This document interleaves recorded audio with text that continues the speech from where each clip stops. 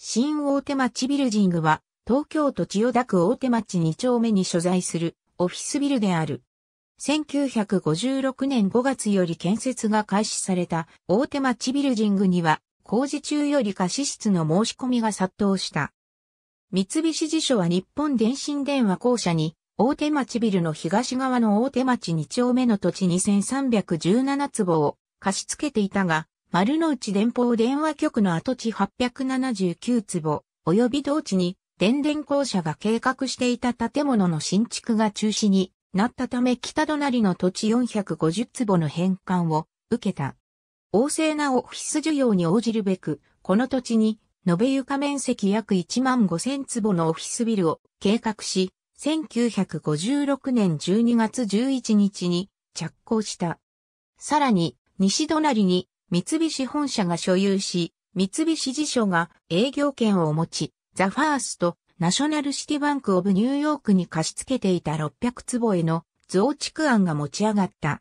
ここは第二次世界大戦終戦まで朝鮮銀行東京支店があり、連合国軍最高司令官総司令部による接収の後、建物が朝鮮銀行から FNCB に売却された。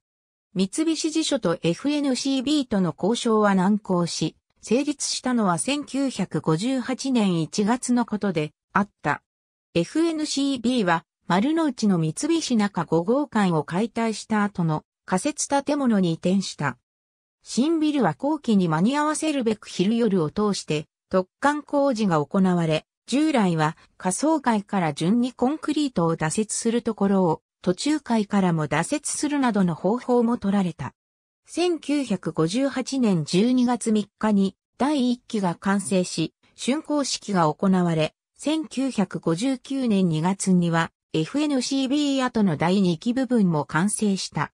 その後1961年7月から1963年5月にかけて北側に2カ所計1523坪、1971年に屋上部に500坪増築され、2001年には新たなカーテンウォールを設け、応映化や空調設備の更新など大規模な改修が行われた。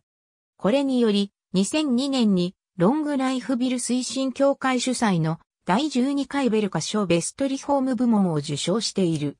永代通りに面し、地階では東京メトロ東西線他の大手町駅に直結している。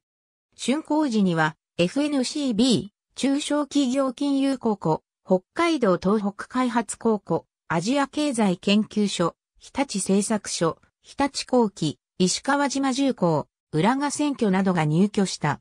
当初は本ビル北西に位置する現在の大手町ビルジングが第3丸の内ビルジング、本ビルが大手町ビルジングの仮称であった。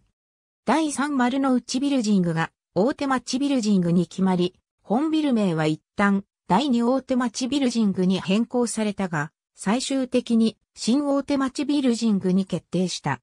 このため、すでに旧名称で社用の封筒や便箋等を作成したテナントに対しては、三菱地所がすり直しの費用を保証した。ありがとうございます。